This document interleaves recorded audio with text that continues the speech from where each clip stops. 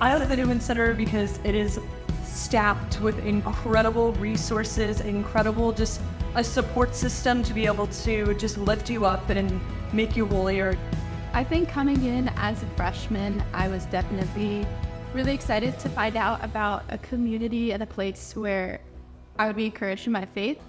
I like the Newman Center because my baptism sponsor is here, Father Remy and Patrick.